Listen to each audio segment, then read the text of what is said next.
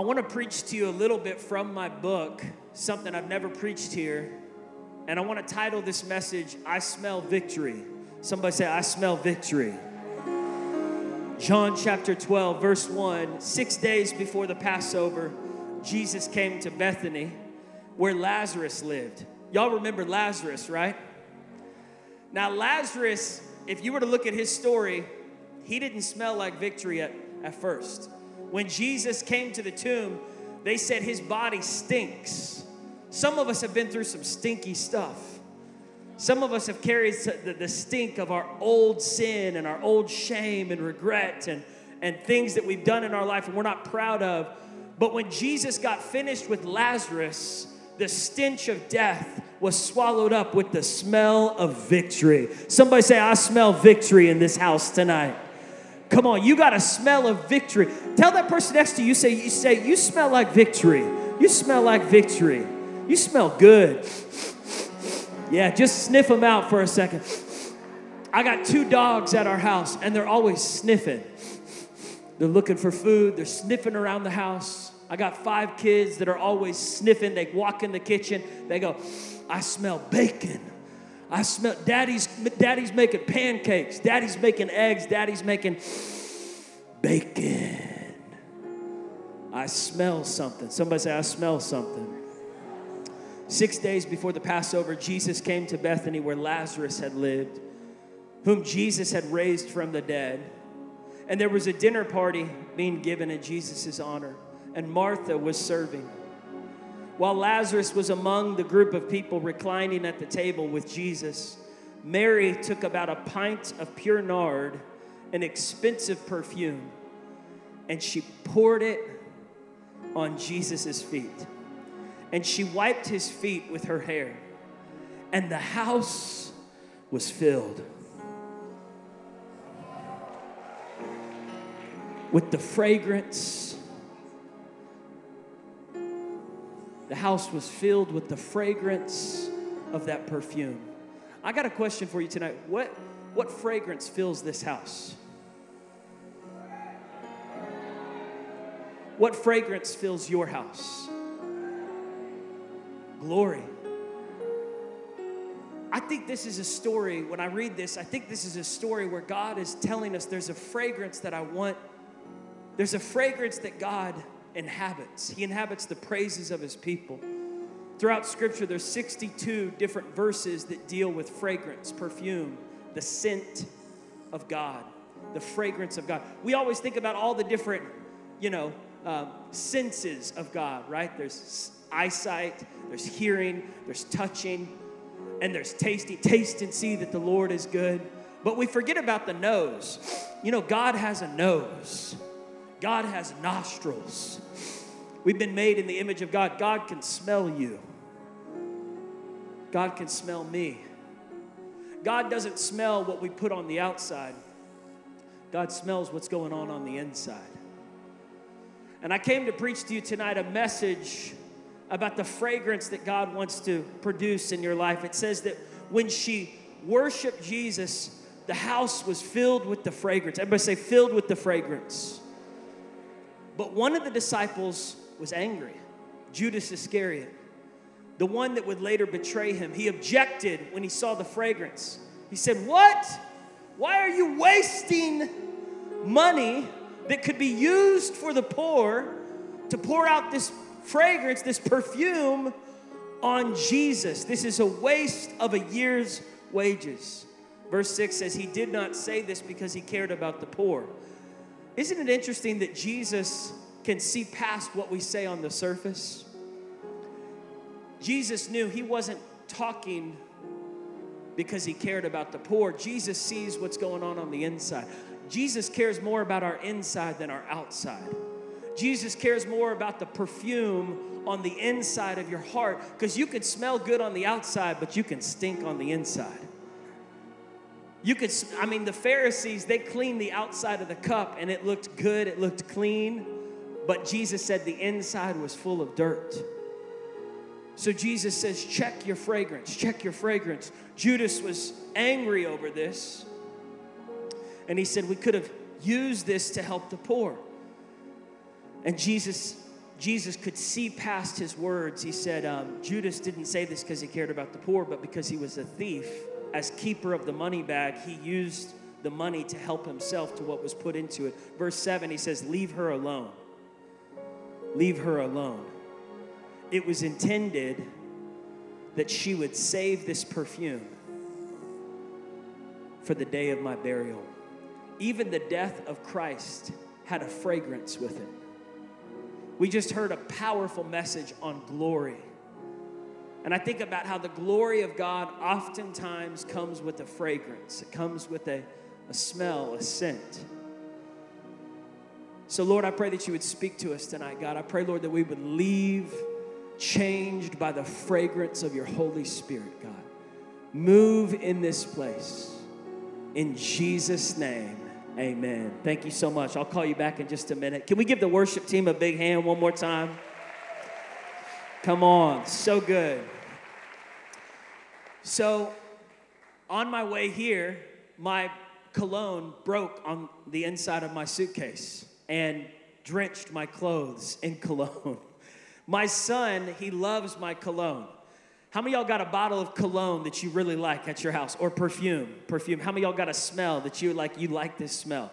All right, so I have a smell that my wife bought for me because she likes to pick out my cologne, she likes to pick out my fragrance, and my son really likes it. So he'll come in there and he's 10 years old. I got three boys, two girls. My 10 year old will come in, he'll take my cologne and he'll just start spraying. I'm like, stop! You only need one spray. I'm like, you are you are using up all of my cologne. And he's like, Dad, I just want to smell good for the ladies. I'm like, this kid, I don't know where he gets this from, but he wanted to smell like his dad. Even kids can detect good smells. The power of smell. There's certain smells that can even take you back to memories. Like when I go over to my grandmother's house, she has a distinct smell of like mothballs and like cigars. And like there's like a smell of my grand when I smell certain things, I'm like, oh, that reminds me of my grandmother's house. When I smell someone cooking outside a good steak or a good burger, it brings me back to these childhood memories of cooking outside with my family, grilling out. The fragrance that you carry spreads everywhere you go. I think about the commercials we see on TV, these ridiculous cologne commercials with like Matthew McConaughey, Justin Bieber, whoever it is, Cameron Diaz, Beyonce, Brad Pitt, and, and they, they walk in with this cologne and it's like, it gives them confidence. Like a good smell makes them feel beautiful. A good smell makes them feel handsome. A good smell makes them feel more confident in who they are. But when I look in the scripture, the fragrance that God was interested in was a fragrance that was different than what you smell on the outside. In Genesis chapter 8, when the ark landed after the flood, one of the first things that happens is Noah builds a altar, a sacrifice to God. Genesis 8 verse 20. And when he builds this sacrifice to God, this, this altar to the Lord for saving his family, this burnt sacrifice goes up in the air and the Bible says God smelled the aroma. Tell that person next to you, say, God smells you. God smelled the aroma of the, the, the burnt offering, and afterwards he was pleased with it and he put a rainbow in the sky. God responds to our fragrance. In Second Corinthians chapter 2, verse 14, it says, Thanks be to God who leads us in triumph in Christ and through us diffuses the fragrance of his knowledge in every place we go. For we are to God the fragrance of Christ. So, what does the fragrance of Christ smell like? It, it, I'll tell you one thing it doesn't smell like pride. It doesn't smell.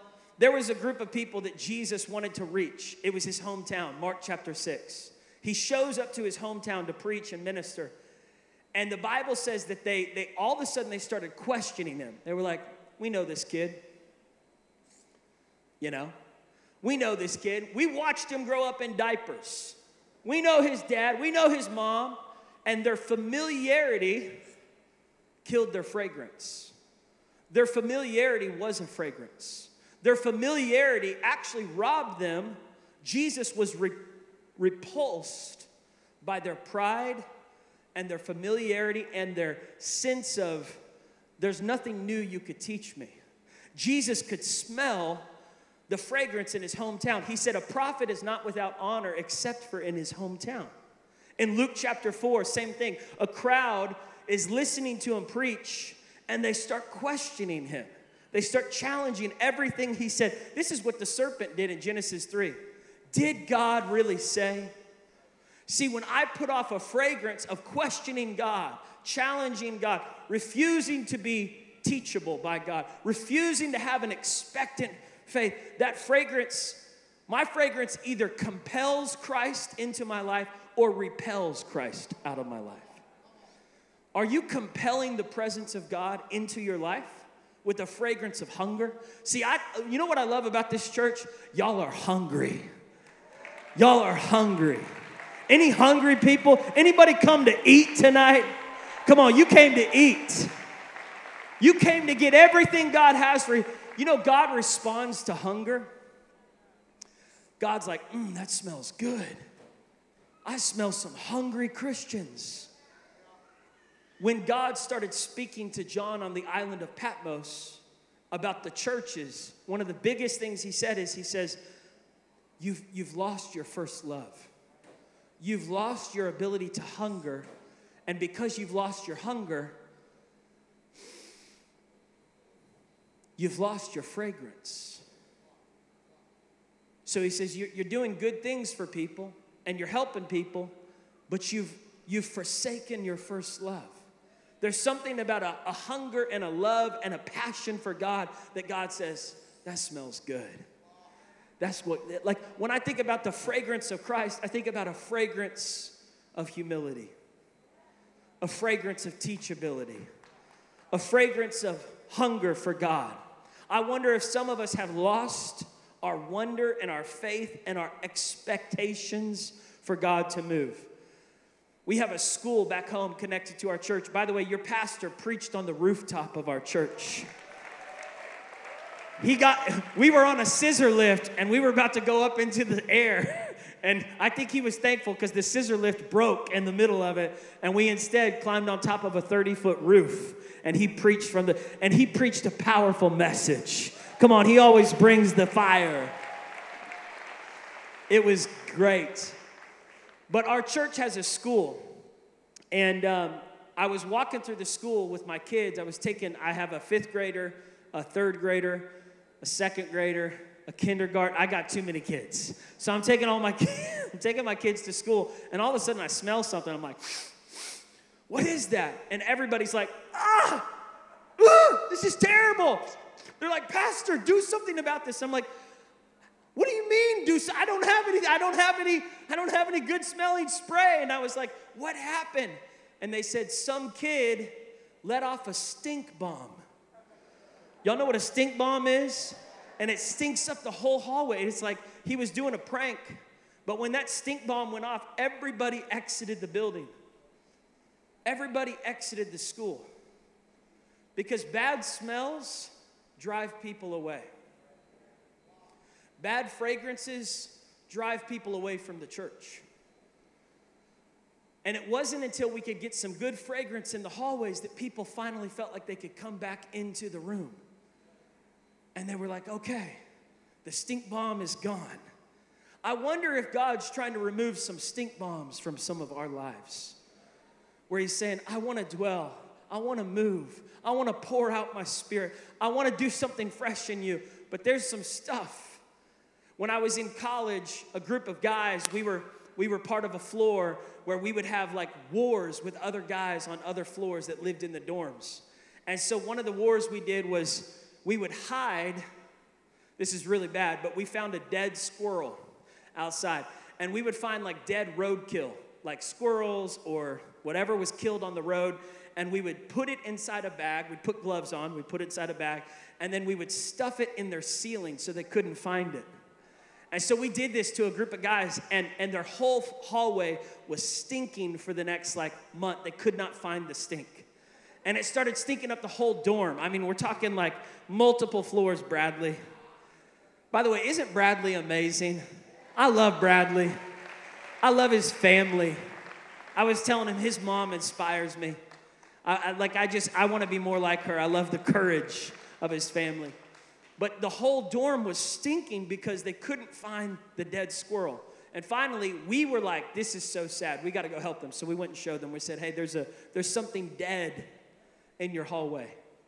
I wonder if the Holy Spirit is saying this to you. There's something dead in your house. There's something dead in your life. When I was younger, my mom bought me a hamster for my birthday. I really wanted a pet, so she bought me a hamster. Well, my dog came in and um, he knocked over the hamster's cage. And when the hamster tried to get out, the dog was so scary. Went, Rah! The hamster froze and had a seizure and died. The hamster was like, and I mean, my I watched it happen. I was like, how do I get that out of my mind? That was the worst thing that happened. And the hamster had a seizure and died. And, um, and I felt really bad for it. And I had seen like different guys I know who had like, you know, um, they had like deer antlers on the wall, and they had like, you know, animals that they would. That, so I, I put my hamster up on my wall, my actual dead hamster. I, I like put him on a plaque and I put him on my wall. My mom was like, What are you doing? I said, this, this was once my hamster. Now that he's dead, I just want to remember him. She said, Paul, that's a carcass. That's a dead animal. I said, Mom, there's other people that hang their animals up in the. She was like, No, Paul, this is gross. This is disgusting. We need to get this thing. We need to bury this thing. We need to have a funeral for this thing. We don't need to keep carrying something that's dead in our house. And I think about how some of us are carrying some stuff that's still dead. And God says, You need to bury that. You need to have a funeral for that because it's stinking up your house. Who or what has been stinking your fragrance up? Is it sin? Is it critical thinking towards people? Is it being negative about yourself all the time, just putting yourself down? I walked into one of my kids' rooms the other night and he was like, Daddy, I'm not as handsome as the other brothers. And I said, Who said that? He was like, I don't know. I just, I think I'm not as handsome. He's like, You know, I just don't look like they are, and I don't play sports like they play sports. And he was putting himself down. And I said, I want you to say this over yourself I am, and he was like, I am. I said, a mighty man of God. He was like, a mighty man of God. I said, I am. He was like, I am. A handsome man of God. And he was like, Daddy, I don't feel like I'm handsome. and I was trying to train his mind because his words were putting a fragrance off as his dad, I was saying, No, no, no, no, no. Son, you are a mighty man of God. You're made in the image of God, and God doesn't make mistakes. You're called by God. You don't have to be like your brothers to be special. You're special just the way you are. Some of us are stinking up our own fragrance by our words, by our thoughts, by our comparison with others. In John chapter 3, there was a moment of comparison between the disciples. I want to go to verse 22. It says, Jesus and his disciples, they went out to the Judean countryside where he spent some time with them and he was baptizing them. And John was also baptizing at Aenon near Salim because there was plenty of water and people were coming and being baptized. This was before John went to prison. And there was an argument that started developing between the disciples. And they came to John and they said, Rabbi, that man who was with you on the other side of the Jordan, the one you testified about, look, he's baptizing and everyone is leaving our church and they're going to his church. They're all going to see him now. And to this, John replied, Look at the fragrance of John's heart. This is a great picture of a fragrance of humility. He says, A person can receive only what is given to them from heaven. You yourselves can testify that I said, I am not the Messiah, but I am sent ahead of him. The bride belongs to the bridegroom. The friend who attends the bridegroom waits and he listens for him and he's full of joy. Can't you see the Christ like fragrance inside of John? He's not threatened, He's not jealous. He's not depressed. He's not suicidal. He's not throwing in the towel. He's not giving up on ministry. He's joyful. He's excited. He's celebrating other people. He's, he's, he's just happy that he's alive. He's got a fragrance of, he's got an attractive spirituality. He's got a fragrance that people want to be around. Is your fragrance a, a fragrance that people want to be around? One time I, I went to the store and I bought this $5 um, fragrance called Axe, and I sprayed it all over myself. Because I was, I was in a hurry and I was going on a date night with Ashley and I wanted to smell good. And I got in the car and she goes, What are you wearing? I said, I'm wearing Axe. And she goes, Oh, Paul. She was like, I have better, per- better cologne for you to wear. Why are you wearing the cheap stuff? I said, Well, I was in a hurry and I just had to get something quick. She said, You have something better to wear. Why aren't you wearing it? I said, I just forgot and I was in a hurry. And she was like, Paul, we're gonna have to change this shirt because this smell is too much for me to smell right now. so we went and we changed because the smell was so pungent, it was so noticeable, it was so recognizable. I wonder sometimes if God is He's watching us while we worship out here, and He says, Before you keep singing, I need you to come down to the altar and forgive somebody that you've been bitter towards. How can I accept your offering of worship when you have unforgiveness in your heart towards someone that I love?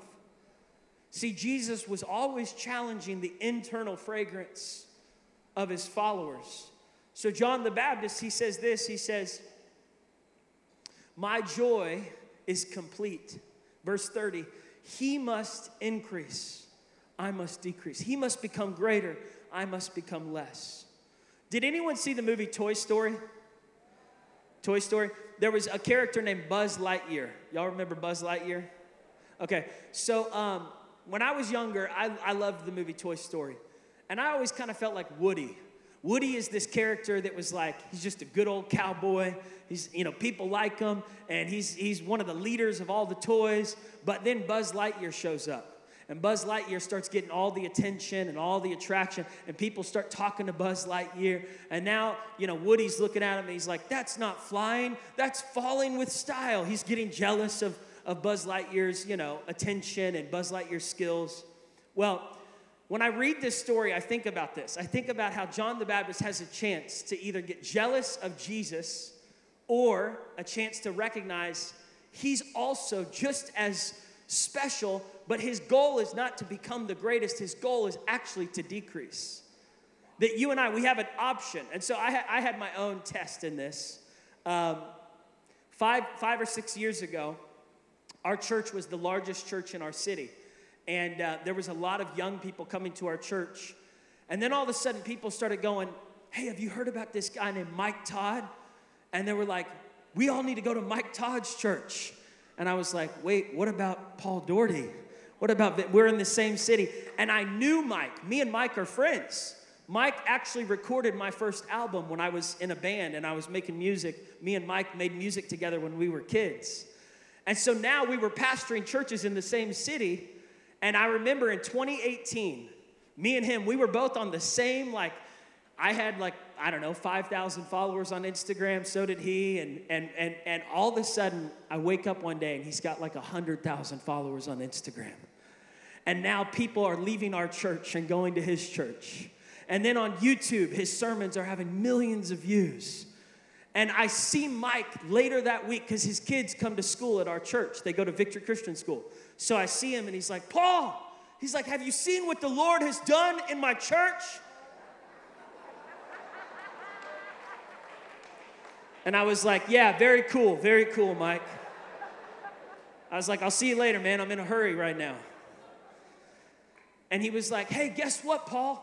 He's like, Stephen Furtick invited me to come preach for him at Elevation Church. I was like, Cool, man. Very cool, very cool. Nice.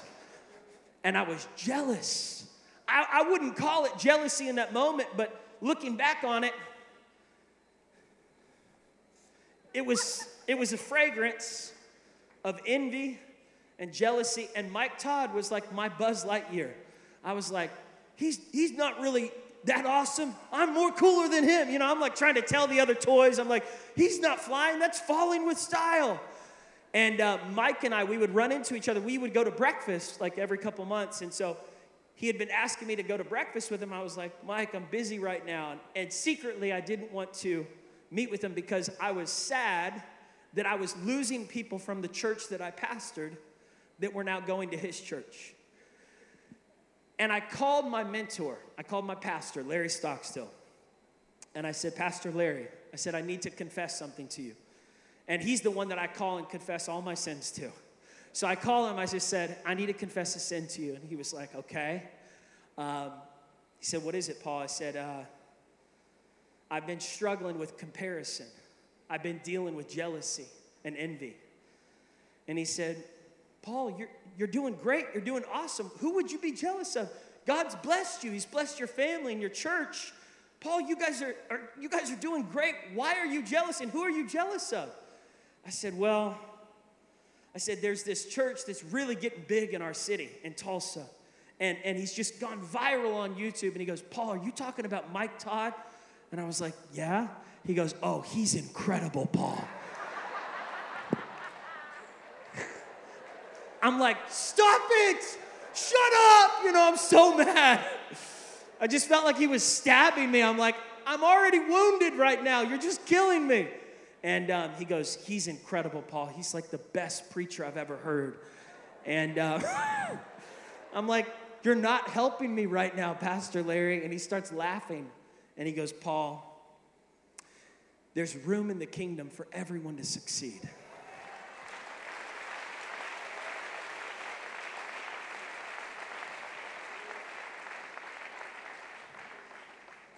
And he said, Paul, Mike needs a friend right now because most of the people that are flocking to him are fans. What he really needs is a close friend, someone that knew him before he was famous. And he said, You haven't been able to be his friend because you've been putting off jealousy vibes and this fragrance of comparison, and you've made it all about you instead of being there for him. And he said, Have you thought about how much the success has impacted his kids and his wife and his family in possibly even negative ways? I said, No, because fame and success, it's all good. He goes, No, it's not. It's trauma for people. Someone who wasn't known in one night and then they're known around the world the next night. They can't go out to eat with their family. They can't even go to the gas station without getting stopped by a 100 people. And he said, Paul, my encouragement to you is to first go to God and repent. And then he said, secondly, I think you need to go to Mike Todd and repent. Now, at this time, our church was still doing good. And I was like, God, do I, re-? I so I, I first repented to God. I was like, God, I'm sorry. And I felt the Lord was like, You need to go to Mike. And I was like, God, I went to you. And I felt the Lord saying, You need to go to Mike. And so I called Mike up, and we both just dropped our kids off at school. And he said, um, What's up, Paul? I said, Hey, can we meet for breakfast at this diner in town, this breakfast diner restaurant? He said, Yeah, yeah, let's go get some chicken and waffles. So we're going there to get chicken and waffles. And, um, and I, it had been a year that I'd been struggling with this all through the year 2018, 2019. And it was like halfway through 2018 into halfway through 2019. And so I'm sitting down for breakfast and I walk into the restaurant. As soon as I walk in, he walks in behind me, and the whole restaurant is like, Oh, it's Pastor Mike Todd! Transformation Nation! And I was like, people came up to me, they're like, hey, I don't know who you are, but will you take my picture with me and Mike?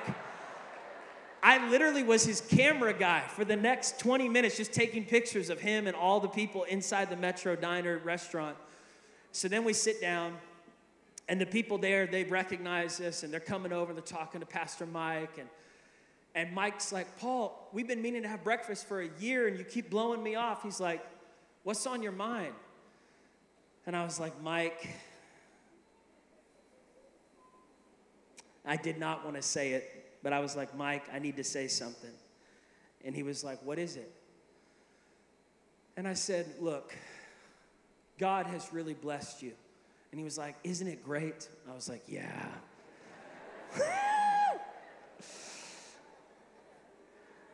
and I said, You know what? It is. And I said, I've, I've been hating on you, and I haven't been a good friend. And a tear starts welling up in his eye. And he was like, I know. He's like, I could tell. I was like, You could tell? He was like, Yeah, man. He was like, You were putting off this vibe of jealousy. And he's like, Man, this has been hard. He's like, As much as I'm grateful for the increase that God has brought, he said, It, it has been so difficult to just spend time with my kids. It's so difficult to tell who's really my friend and who's just a fan. And he's like, I've been looking for you to be my friend.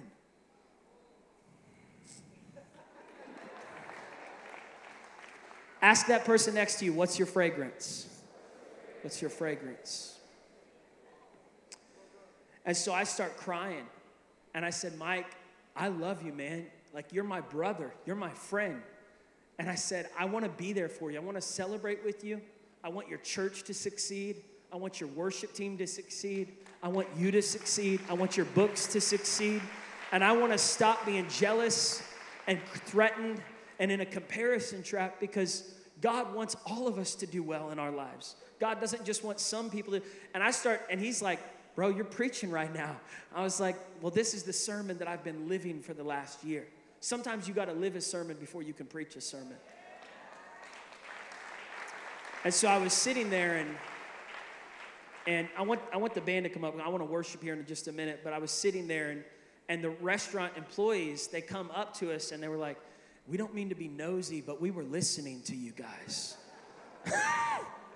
and uh, they said, What we just saw transpire just now, what we just saw was the greatest message that either of you could preach. And you weren't on a stage and you didn't have a microphone because you were two brothers, white man and a black man, coming together in the city of Tulsa where there's been so much racism, so much prejudice, so much pride, so much jealousy, so much war. And you came together in front of all of us. And so the whole restaurant actually got around our table. They said, We want to get a picture with both of you because you're both uniquely qualified to pastor in this city.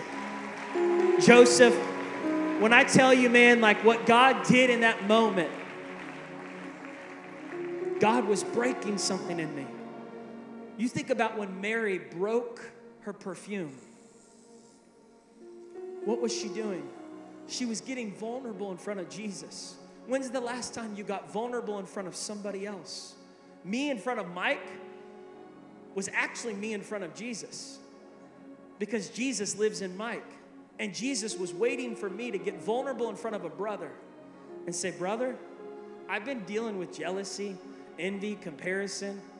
I've been preaching on a stage, but secretly harboring things that aren't from God, and I need to repent. And I'm sorry. And I need your forgiveness. And when He forgave me, it felt like Jesus was forgiving me.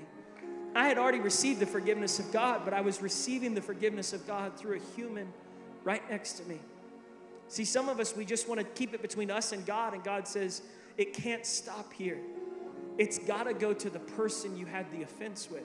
Now, for some of you in the room, that, that offense might be impossible to talk to because they're either in jail or they're dead.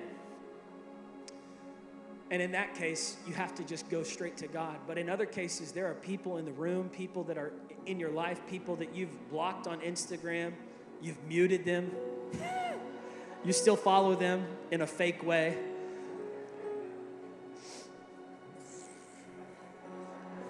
What fragrance are you putting out there? And I didn't realize that when I did that, something was going to break in our church. When I tell you that it felt like the Holy Spirit just showed up in a fresh way in our church, I mean, the services are like the presence of God has gotten so thick in our church in the last few years. Ever since that moment, it's like our worship has gone to another level. My sermons have, have connected with people on another level. Our altar calls have been filled with people. And Mike and I now, when we see each other dropping our kids off at school, we're brothers. We get to laugh together, talk to each other. In fact, he helped me write my book. He literally helped me write Mind Games. And here's what I know. Here's what I know that all of us in this room, we have different things that we, we, we battle with. And I don't know what it is that's been messing with your fragrance, but I believe tonight God wants to, to, to do something fresh in you. He wants to renew your fragrance. Acts chapter 2 says, In the last days, I will pour out my spirit on all flesh. When the Holy Spirit comes in the room, the fragrance changes. When that woman broke the, the alabaster jar, the room shifted. The atmosphere shifted because fragrance can shift a room. I remember on the day of my wedding when my wife came walking down that aisle in her, in her beautiful white dress, my bride. She wore my favorite fragrance. It was a fragrance I had bought for her while we were dating. And I mean, she covered herself in that fragrance. She wanted the whole room to, to smell the fragrance of the bride. And I think there's a groom in heaven that's waiting for his bride to cover ourselves in a fragrance that he wants, to cover ourselves in a fragrance that he picked out. Did he pick out your fragrance or did you pick it out? Because when he picks it out, he gets excited to smell it. He goes, That's what I've been waiting for, church. A fragrance of compassion, a fragrance of humility, a fragrance of teachability, a fragrance of grace, a fragrance of truth, a fragrance of unity, a fragrance of hope, a fragrance of peace, a fragrance of forgiveness. Ben, can we come up? I want to just worship. I just feel like the Holy Spirit wants to fill this room tonight with the fragrance, and He wants to cover you with the fragrance tonight. Yeah, let's just stand to our feet all over this place.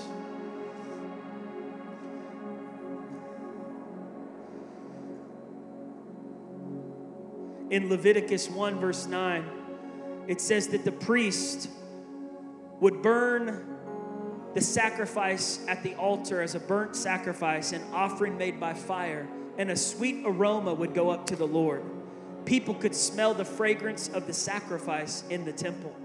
In Exodus 20, verse 23, God instructed the priests to take for themselves quality spices to make a holy anointing, an ointment compounded according to the art of the perfumer. One theologian, A.W. Tozer, put it like this The fragrance of the anointing oil was unique. If someone went near an Old Testament priest, he could say, I smell an anointed man. I smell an anointed man. I smell the anointing of the holy oil. The aroma, the pungency, the fragrance was so noticeable that the anointing could not be kept as a secret. There's a fragrance in God's word that cannot be hidden. There's a fragrance that's so strong it can't be kept as a secret. It's a fragrance that draws people in. It's a fragrance that pulls people towards Christ. It's a fragrance that brings life in the, in the place of death. It's the fragrance that shows up at the tomb of Lazarus and says, There is still resurrection power in our God. It's a fragrance that says, Even after your worst mistake, Mary, God still has a plan for you. Peter, even after you've denied me three times, there is still a Pentecost waiting for you. It's a fragrance of second chances and third chances because his mercies are new every single morning. Great is thy faithfulness. Some of us have been holding on to a fragrance of shame and resentment, either towards ourselves or towards other people that have let us down or hurt us. I just hear the Lord saying, I want to cover you in a new fragrance tonight. I want to cover you in a new fragrance tonight. I want to help you get over some things that have happened to you. I want to help you forgive some people that have hurt you. I want to help you stop comparing yourself to the people that are that are that are maybe doing something that you want to be doing and God says let it go let it go. I have success for you too. I have great things for you too. I have I have a great destiny for you too. Don't get stuck in the comparison trap. God says let let, let, let, let your heart be like John the Baptist. I must decrease he must increase. It's in that humility. God says I, I humble those who exalt themselves but I exalt those who humble themselves Pride leads to a fall, but humility leads to honor. God says, if you'll humble yourself, I promise you, there's promotion coming, there's honor coming, there's glory coming, there's a new fragrance that's coming on you. In Jesus' name, with every head bowed, every eye closed. If you're here tonight and you just say, man, I just want the fragrance of God's love, His mercy, His truth, His kindness, His compassion. I want that fragrance you've been preaching about to cover me. I want that glory that Pastor Gideon was talking about to cover me, to cover my life. If that's you, just raise your hand all over this place tonight. I want to pray for you. I know Prophet Gideon does too. If you would just leave your seat, if you raised your hand or you wanted to, just leave your seat. Let's fill this altar tonight. Let's fill this room like Mary with that expensive perfume. Let's pour it out on the feet of Jesus. Let's just begin to worship. Band, you guys got a song, a worship song we can just go into? Let's just fix our, our eyes and our hearts on Him. And as we worship, I believe the Holy Spirit is going to pour out an anointing in this place.